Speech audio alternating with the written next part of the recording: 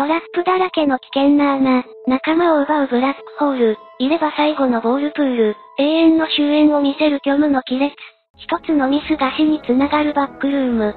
そんなバックルームには至るところに穴が存在し、その穴に入った放浪者は数奇な運命をたどることになります。ということで今回は、穴をテーマにしたレベルを紹介していきたいと思います。レベル深い穴。レベル、深い穴は穴の色が赤、青、白、黒の金属でできた無限の大きさの穴が特徴のサバイバル難易度クラス3の部屋です。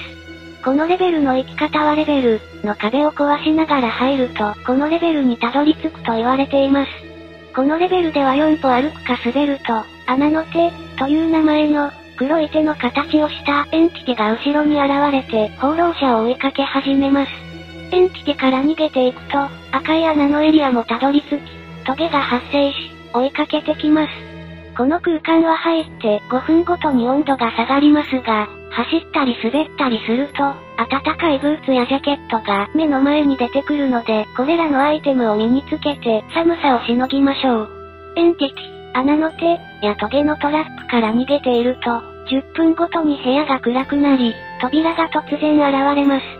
出口だと思い、すぐに入って脱出したいところですが、入った瞬間、トゲのトラップで殺される偽の扉があるので気をつけましょう。もしも、本物に入ることができれば、フロントルームに帰ることができますが、本物と偽物の扉の見分け方はないので、運に身を任せるしかありません。レベルベータ螺旋。レベルベータ、螺旋は黒と白の縞模様の壁があり、ガラス越しに白または黒い空間が見えるサバイバル難易度クラス2のトンネルです。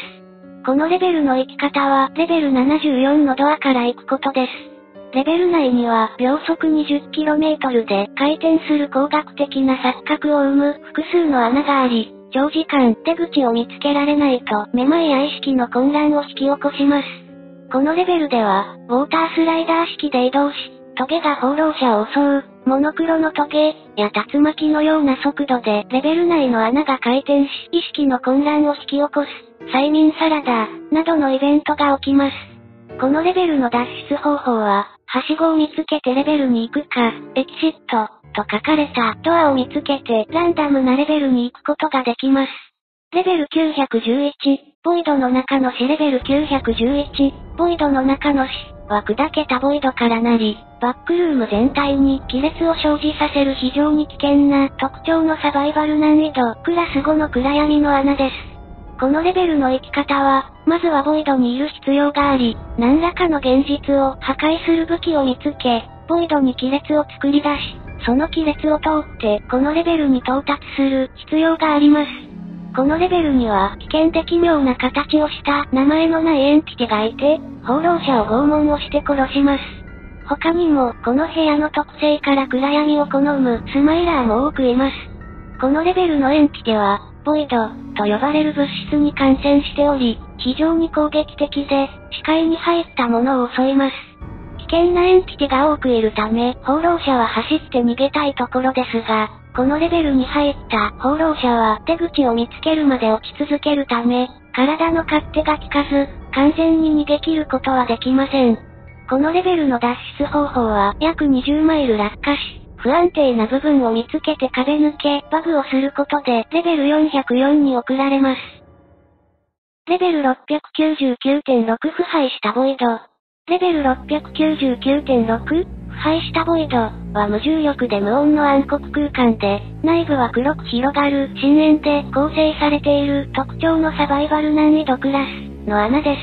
す。サバイバル難易度クラスは、レベルを訪れた放浪者が絶句するほどの絶望がある部屋を示すサバイバル難易度です。このレベルの生き方は真実を否定することや運命を変えることができると信じることによって行くことができます。このレベルに入ると溺れる感覚に襲われますが、約40秒後にその感覚は収まり、暗い果てしない深淵が現れます。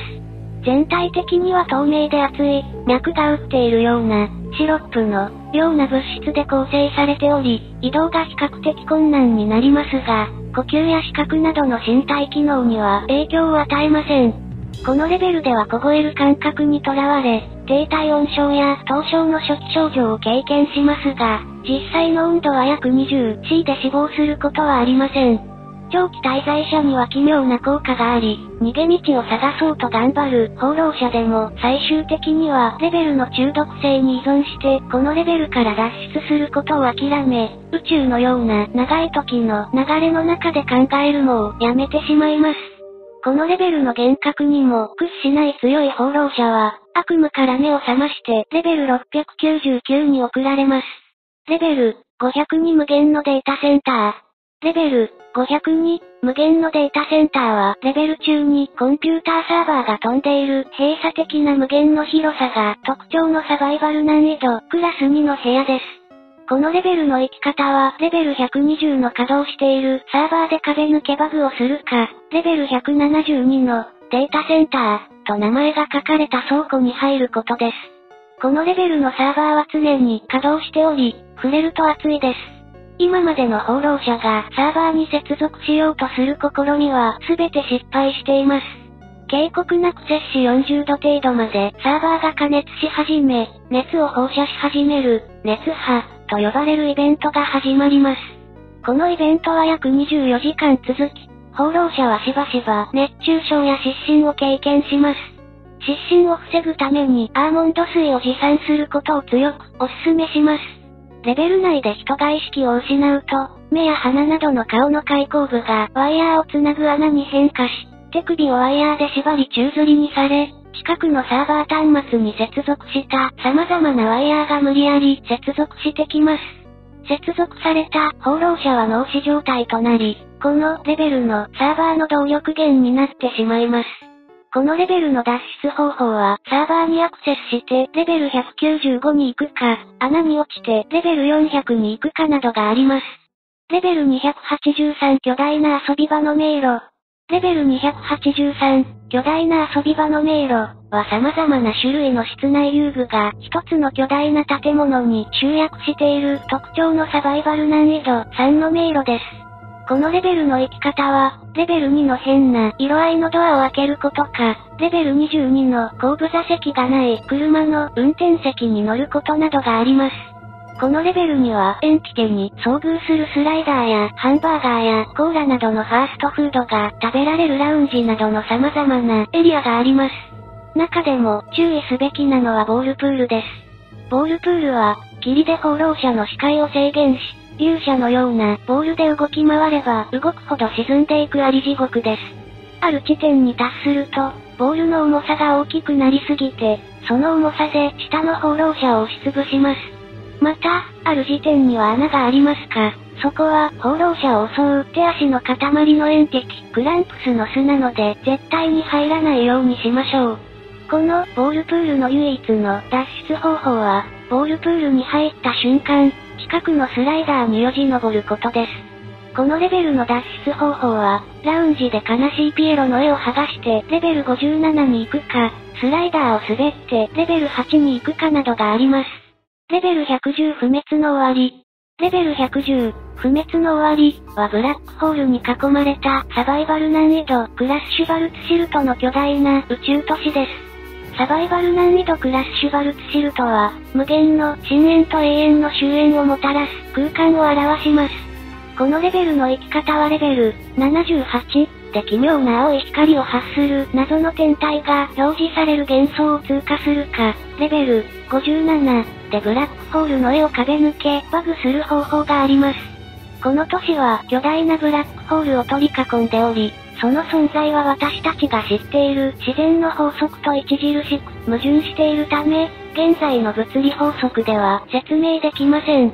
自然環境は非常に過酷で、酸素がなく、骨を貫くような寒さで宇宙服を着ない限りは、入った瞬間に肉体が破裂します。このレベルの脱出方法は、ブラックホールに仲間を突き落とすことでランダムなレベルに逃げることができます。